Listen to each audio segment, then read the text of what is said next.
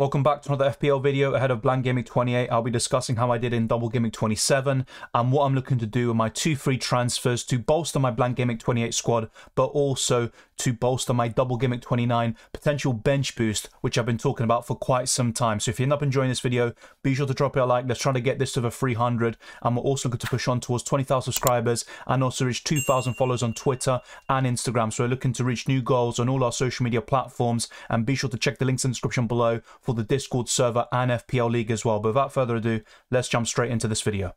While it didn't look too good after the first game of Double Gameweek 27, Raya was able to recover and produce a 9 point. He kept a clean sheet against Southampton away, a 2-0 victory there for Brentford, and in the first game he managed to get a save point and free overall, but still quite happy with David Raya and all these purchases I made on the wildcard back in Gameweek 26. These Brighton and Brentford assets were a bit frustrating at first, but ultimately came up very good in Double Gameweek 27, and David Raya was one of those. He's always got a high ceiling because of saves and bonus points. In this one, he just kept a clean sheet, which was the main kind of contributor towards his big return, but a free pointer when Brentford conceded is still fairly decent and played its part too. So quite happy with David Raya, and he's actually going to be a part of a benching dilemma, the only one I'll have in Blank Gameweek 28 but I'm still quite certain I'm going to stick with my ideals and also to what I originally had planned for Blank Gameweek 28. But Raya is certainly in contention for a starting spot in the upcoming game week. It was points all round in my defence, starting with Estupiñán, who is one of my favourite kind of double gameweek options for 29. He could even have a double in 30 or 31, so we still are waiting for that Brighton double in the future. And the single gameweeks coming up aren't looking too great. Of course, he blanks in gameweek 28, which will be a real dilemma. And there's a lot of fear mongering online in terms of Estupiñán's prospects of starting the first game of double gameweek 29, which remember is just after an international break. And there is a game for Ecuador. And then four days later, we've got Brighton returning to Premier League action. But you could say the same thing about Mitoma, and I think there is a bit of inconsistencies there in terms of what people are arguing. Yes, there is certainly a chance that he could be benched, but I wouldn't be too pessimistic or just have that as the only reason to sell Estupiñán. I think the main problem lies with having also a Brentford defender like Rico Henry, Ben Mee, or Pinnock, and you want to keep them for Gameweek 28, where you know they're going to feature, they could even haul, whilst Estupiñán is going to blank. That is going to be the real dilemma. When you add on top of it maybe some concern concerns about him starting the first game of Game 29, then it does make a little bit of sense. But still, I would like to keep Estupiñán ideally. And on a wildcard in Game 28, be sure to check out that video. I still feature Estupiñán in there. You bench him in Game 28, start him in 29, or even bench boost in that game week. And you ultimately can have him for the upcoming double in the future as well. So I still like Estupiñán a lot. He got two bonus points in the second game. And arguably, he should have had all three. He was fantastic in that match against Crystal Palace. And he's a really good FPL option if you look at the last seven, eight game weeks, so many different kind of revenues or avenues, should I say, of points. You know, you look at the assists, the bonus points, also some clean sheets along the way. So I'm a really big fan of Estupiñán in FPL at the moment. He's looking really, really promising. So despite a really shaky start of one point against Leeds, he more than made up for it in the second game of double game week 27. And then looking at the rest of my defense, Ben Mee also came up clutch, you could say, with a nine pointer, also some bonus points, and Brentford looked very solid there against Southampton. Southampton were very flat, but Brentford did their job. A great away performance, and if you look over the course of the season, Brentford haven't been that great on their travels. It's at home where they get the majority of their points and wins, but they managed to keep the clean sheet, get the victory, and Ben Mee was a big part of that, so happy with that return. I've got a conundrum in Game 28 as well, and Trippier was the final defender. He made a mistake, which almost allowed Wolves back into the game. It was the equaliser by Hwang Hee-chan, but he also got the assist for the first goal, and Trippier's a great FPL option. I'm happy to keep him, but there certainly has been a drop-off for Newcastle, not only in terms of their Premier League results and getting enough victories on the board since the World Cup, but also their FPL prospects and the likes of Trippier, who have been fantastic all season, have definitely halted a little bit and haven't been as promising. Two midfielders carried my midfield this week, starting with Mitoma with a 12 pointer, an assist in each game. I can't complain too much. And when you look at all the captaincy options, the major ones in Game Week 27, Mitoma, March, McAllister, Ivan Toney, pretty much there's a point separating each one of those players. So very happy with whoever you picked. If you picked one of those four, you should be happy. It was a good return, a good decision as well. And I'll be talking about who I captain at the end when I show my points before moving on to my transfer plans for Blank Gameweek 28. But Mitoma, very happy with him. It could have been more, but still, I'll take the 12 points from such a cheap asset. The same goes for Solly March, but let's be real, he should have had that goal awarded. I know the rules are very clear, and after an hour's passed since the game is finished, they can't make changes to points, but they originally awarded the goal to Solly March, then they took it away, and then all these stat sites like Opta awarded the goal finally and officially and conclusively to Solly March. And that goal that wasn't awarded against Leeds, that would have been a swing of potentially seven points, five for a goal and also two for bonus points. So it was a massive swing there, but 11 points is still a solid return. I just think that those that captain March are very unlucky. You should have had a mega haul. We're talking about 18 points around that mark. But still, 11 points is good. And he scored on the 15th minute against Crystal Palace on the 15th of March. You can't write that stuff. So you've got to be very happy with that. The other two midfielders, though, include Marcus Rashford with a free pointer. Man United went down to 10 men very early on in that game. And that changed the complexion of the match. But Rashford is still a great option to keep. Easily benchable in Game Week 28. And he's probably the best captain, you could argue, in Game Week 29. But let's see how Man United do once again without Casemiro over the next four games games, including three in the Premier League. I think Rashford will continue to do well and Man United will continue to get points on the board, but they have struggled in recent games and they haven't scored a single goal in the month of March so far. Obviously, they lost heavily to Liverpool and drew to Southampton at home, but I'm expecting them to come back and also produce a big result and performance like they did against Betis in the Europa League in the first leg. Let's see how they do in the second as well. The final midfielder was Saka. My main gripe is the fact that I had three Arsenal players and I managed to start the one with the least amount of points, but still, he probably had his worst performance in recent months and arguably across the whole season, but it was still a 6 out of 10, and he was relatively involved and kind of playing his own part as Saka continuously does. And look, he's such a consistent player. One off game is allowed, and it's just a bit frustrating from an FPL perspective, not getting that right in terms of the Arsenal assets. But Saka's a great option going forward, and I'd still pick him on the wild card. I think in last week's video I was talking about my front three not delivering as consistently as I would like. This week was completely different though. Harry Kane with a 13 pointer, a brace against Nottingham Forest, and a really good performance by him all round. He scored the penalty too, and Spurs won quite comprehensively in the end. I was backing Spurs to score two or three against Forest. They did, and if that was the case, Kane was always going to be heavily involved, or in most cases he would be anyway. And that's what happened. And Harry Kane remains one of the best options in the game, even without the double game weeks and all of that. And actually, over the next two, I would argue I might even prefer him over Mohamed Salah. Both of them have two fixtures, but Harry Kane does really well home and away. When you look at Salah and Liverpool, they do struggle a lot on their travels. And of course, Salah is still a great option, and it's definitely a debate right now between Salah and Kane as the second best premium in FPL. But right now, it's just kind of ebbs and flows one way or the other. And Harry Kane has just been consistent from the start of the season. So happy to have him. And the next forward, another one with 13 points was Ivan Toney. I was actually a bit frustrated about this, and you'll probably understand why, because he got an assist in the 97th minute and he actually picked up a yellow card into extra time. But any kind of return for Ivan Toney would have been detrimental to anyone who still owned him but didn't captain him. And I was one of those people, and it was close for me eh, in terms of all the captaincy options. I think there wasn't really much to separate all of them, but Ivan Toney definitely came into a league of his own. And despite the fact that March, and all these other kind of Brighton assets led Ivan Toney up until pretty much the last few minutes of the Southampton game, it was Ivan Toney who ended up outscoring all of them, but still wasn't able to outscore the likes of Harry Kane, a single gameweek option. And this does show you that whilst double gameweek choices like, you know, Estupiñán, Mitoma, March, Ivan Toney are definitely worth purchasing or considering when there's a double gameweek coming up, you still have these single gameweek options like Harry Kane that can still produce a mega haul, and you have to be careful sometimes when you sell these single gamicers for the double gameweek options. But look, it's a difficult balance to strike. You're not always going to get it right. Sometimes you're, you're going to be damned if you do, and you're damned if you don't, if you catch my drift. So it's very difficult to strike that balance and get every single decision right. You're ultimately going to come up short in certain areas. But the final forward, and this is another one where it doesn't really make a difference, it was Erling Haaland, and his effective ownership was actually not too bad as it usually is. But a six pointer, scored a penalty, a bit kind of underwhelming. Besides that, he missed some chances too, and Man City might have even drawn that game if it wasn't for the penalty that Elise conceded. But there you go, a really good showing by everyone in my team, with the exception of Rashford and Saka. When those two are your worst players in your starting 11, you know you've done something pretty well this week.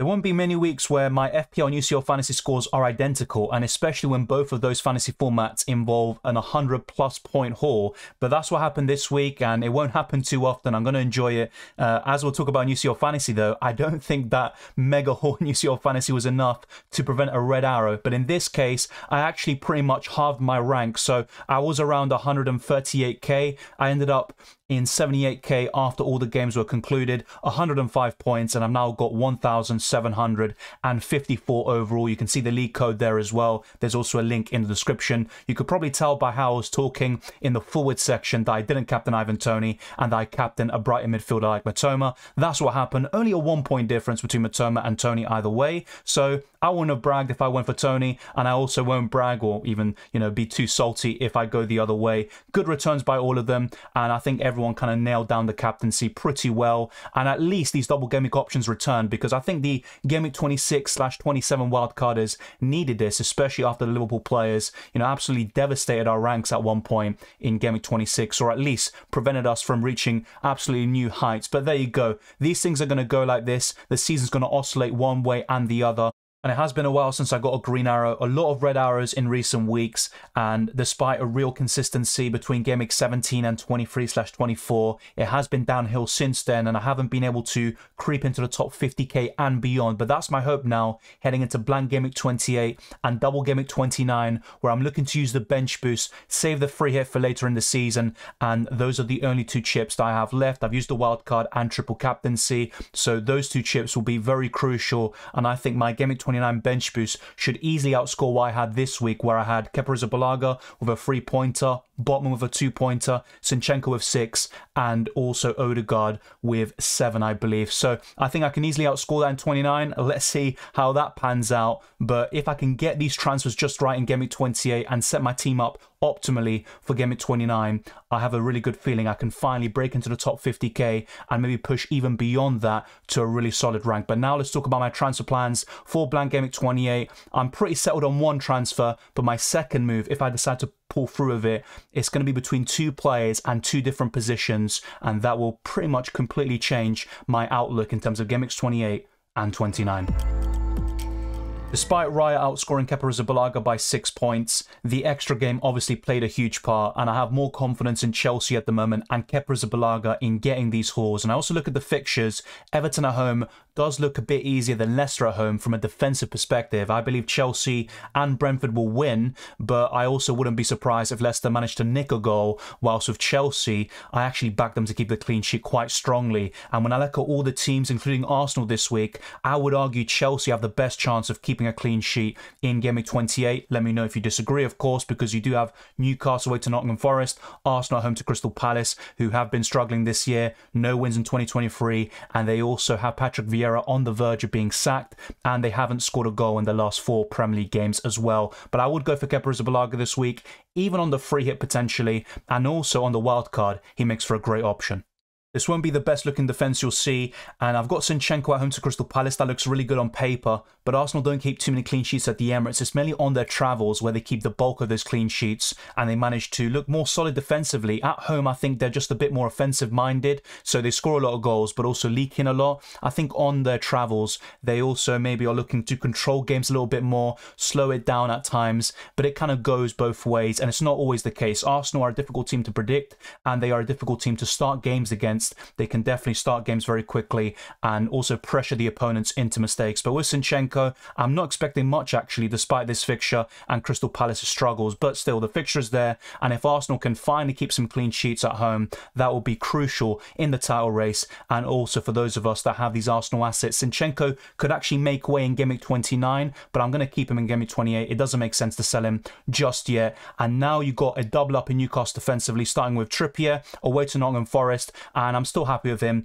But I actually wouldn't be surprised if Forest were able to nick a goal and maybe maybe even get a draw in this game. So a nil-nil or a 1-1 is probably a likely scenario. And ideally, in my case, I would be opting for a nil-nil because it would mean points for Trippier and Sven Botman, and that would give me a huge, well, maybe not huge, but a significant rank rise. I'm not so sure if that many people will have a double up in Newcastle defensively. Maybe those on the wildcard do, but I was seeing a lot of people kind of hesitant on doing so, and it does make sense because in recent weeks they're not getting the results, they're not getting clean sheets and FPL points. But I'm really hoping for that this week, and I think Botman and Trippier can deliver something, but it won't be easy against Forest, who are actually pretty good in home matches. The final defender is Ben Mee, who did very well for me in Double Gameweek 27. I'm hoping for a decent return as well against Leicester, but it does depend because one of my transfers could involve a Leicester attacker and there could be a conflict of interest there. But as I'll show you very briefly in FPL.team later in this video,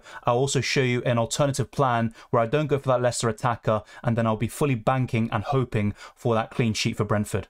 There aren't many standout midfielders in Week 28, but Odegaard is one of them. The same goes for the Arsenal midfielders like Trossard, Martinelli, and Saka. Apart from those, you can make a case for Rodrigo or Harrison, but I'd really mainly point towards the likes of James Maddison and Miguel Almiron. I'm not a big fan of most of these midfielders. I think the best ones, apart from the Arsenal assets, include Marcus Rashford, Mohamed Salah, a Man City midfielder like De Bruyne, and also Mitoma, but they all blank in Week 28, of course. So to strike that balance of covering Week 28 and 29. You either need to free hit in 28 or get these players from Arsenal, maybe Maddison or Almiron in time for this blank game week. But it isn't easy and it's not ideal. And I don't think it will be a high scoring week in terms of midfielders. But Odegaard is certainly one of the best ones. He has a high ceiling. He scored against Fulham, just coming back from an illness, and he put in a really good performance there. And I'd back him to do well against Palace and or Leeds. It just depends because sometimes he can perform well and not get the FPL points. But this season, he's a completely different beast when it comes to FPL. In seasons gone by, I never would have considered him in this game. But now it's a completely different story. Arsenal are a better team as well, which does play a part too.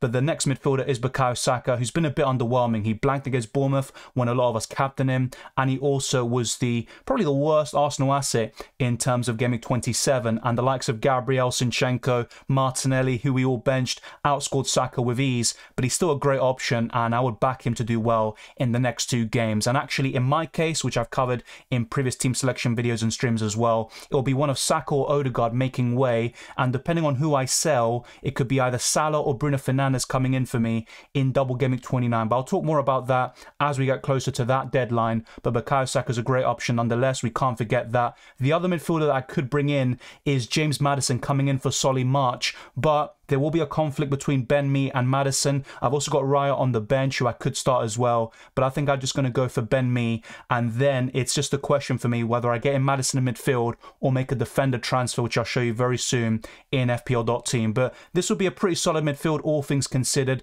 And on the free here, I'd probably go for the same midfield free, although you can make a case for Martinelli, Trossard, and Almiron. After a 13 pointer in Game 27, Harry Kane obviously remains in this team and is one of the leading captaincy options away to Southampton, who he has a good record against. A few years ago, Spurs absolutely demolished Southampton at St Mary's, with Heung-Min Son and Harry Kane combining very well. On a free hit, you could consider even the likes of Heung-Min Son as a one week punt, but I wouldn't buy him for the long term. And if you want any Spurs asset at all, you know my answer. It's been the same all season. It's Harry Kane or nothing. You could even add a Spurs defender as well. I'm not not too sure about Pedro Porro because he's starting games right now with Emerson Royal injured, but that could easily change once the Brazilian returns. Ben Davies is probably the second best Spurs asset right now, which sounds completely crazy. Then you've got Forster as a decent benchable option in goal. But then you've got Steele, you've got Raya, Kepa Arrizabalaga, who are all quite cheap as well, and they are probably going to be better assets in the long term too. But yeah, really with Spurs, it's Harry Kane or nothing for me. And if you want that second, it's probably Ben Davies at this moment in time. Harry Kane against Southampton, I will back him to do well there. Then I've got Ivan Toney, another one who scored 13 points for me in double gameweek 27 at home to Leicester. This could be another huge haul and he certainly should be a consideration for the captaincy. The same goes for Arsenal midfielders, Harry Kane, and maybe a defender like Ben Chilwell. I don't think I'd go to other players like Zinchenko or Maddison this week, but those would be the main captaincy options alongside a potential new signing for me, which is Ollie Watkins, who would be coming in for Erling Haaland, despite the fact that the Norwegian scored five goals against Leipzig in the Champions League. We'll talk about what happened there in UCL Fantasy, of course, in those videos. But Ollie Watkins at home to Bournemouth, it's a good And Aston Villa actually lost this game in the reverse one, but different managers, different circumstances. And Aston Villa are looking much better under Unai Emery, at least from an offensive perspective. And Ollie Watkins has been very consistent since the Spaniards' arrival. So this would be a very good front three, the very best that you can assemble in Game Week 28. But I think a few of you will argue the likes of Iheanacho and Kai Havertz definitely need to be considered. The same goes for Joao Felix too. But let's go to FPL.team now and show you a alternative transfer plan, which also involves Watkins, but the second transfer will not be Maddison. Before I do that though, because I love to get ahead of myself sometimes, let's talk about the captaincy and the bench. So as you can see here, it'd be Raya, Estupiñán, Mitoma and Rashford on my bench and they would all come back in in 29, which I'm going to bench boost anyway, so it doesn't make a, too much of a difference in that regard. And really all that needs to be said now is the captaincy. And I would personally favour Harry Kane at the moment and Saka is the vice, but I have a feeling I might change the vice captaincy onto somebody else and maybe consider captaining that player instead. So I don't think think the captaincy is sealed by any stretch of the imagination, and Southampton looked very flat against Brentford. If they put in that performance against Spurs, I'd be very confident of a return for Harry Kane and potentially for Heung-min Son too. And the only player apart from those in my team that I'd consider captaining would be Ben Chilwell. And speaking of the devil, he could be another one that I'm looking to buy in for Game Week 28. If I were to buy the Chelsea fullback this week, I would go for a back five and also a midfield two. I don't think I've ever done this formation 5-2-3 because midfielders are so valuable and they are the main source of points on most occasions anyway. But it would be Kepa Arrizabalaga in goal. I'd have Ben Mee, Trippier, Botman and Zinchenko. But it would be Chilwell completing the back five. I'd go for two Arsenal midfielders in Saka and Odegaard and then the usual front three, Ollie Watkins, Harry Kane and Ivan Toney. And I have 7.1 million left in the bank. That gives me plenty to play with, you could say. Plenty of flexibility to bring in the likes of Bruno Fernandes or Salah in 29 and also bring back Erling Haaland in Game 30. I have discussed my transfer plans in other videos too. So that's all kind of laid out and it is flexible. I'm open-minded about certain things and it's not set in stone, but I've got a good idea of the one or two players I can get in each position should I need to make a transfer or should I decide I want to. Now, ideally, I would keep Estupiñán, but if I want to get in Ben Chilwell. I don't see the need or the reason to get rid of Zinchenko right now when he's got a much better chance of, you know, getting a good return than Estupiñán, who quite frankly blanks. So it just makes sense. And the same goes for Ben Mee too. Now, I think Leicester could score in that game, but I am backing Brentford to win. And even Ben Mee could score a goal. I would not rule that out completely. Leicester struggle from set pieces. Ben Mee is a real target from those corners and free kicks. And I think Brentford could really exploit that weakness from Leicester, which has been the case for maybe several years now under Brendan Rodgers. And Ben Mee, I mean, if I sell him, I could easily see myself regretting it. So if I were to sell defender for Ben Chilwell, it would be Estupiñán. Let me know your thoughts down in the comment section below. Would you bring in Chilwell for Estupiñán or would you bring in Maddison for Solly March? And also, there is the possibility of just using one free transfer, rolling the other one, and then not taking a hit in Week 29. That's another possibility. The only downside is that I would have 10 men in blank Week 28, but that might not be too big of an issue. Now, if I look at it logically, I think Chilwell will outscore Maddison in Week 28, but I also think Estupiñán is someone that will get a good score in 29, and if I want to bring him back in, it could involve a hit. So there's a lot of things to weigh up, and nothing is set in stone. Let me know your thoughts down in the comment section below. What are you going to be doing for double Week 29 and blank Week 28? And thank you very much for watching this video. If you enjoyed it or found it useful, then be sure to smash the like button and subscribe for new. Let's try to get this video to over 300 likes. Let's keep on pushing towards 20,000 subscribers and beyond. You can follow me on Twitter and Instagram, DylanRCM, and check the links in the description below for the Patreon, channel memberships, Discord server, FPL League, and Sorare. Be sure to sign up for that fantasy game using my link there, and I'll also put it in the comment section down below. I wish you all the best of luck for Blank Game 28 and the rest of the season, and I'll see you next time.